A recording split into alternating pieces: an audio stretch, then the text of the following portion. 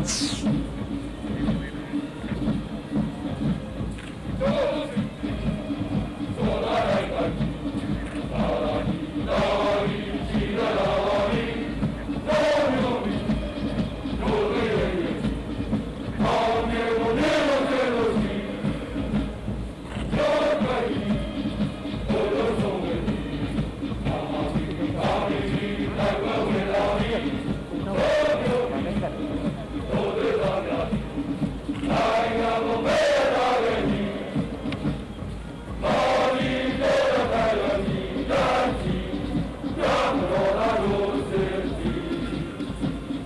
86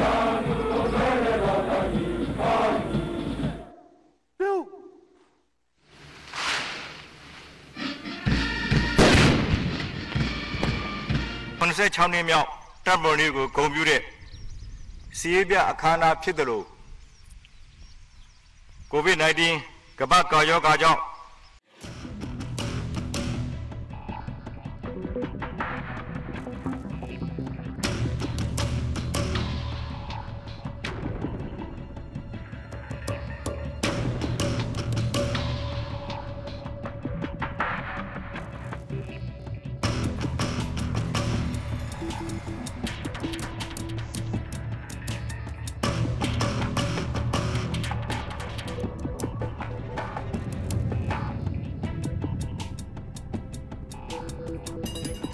Thank you.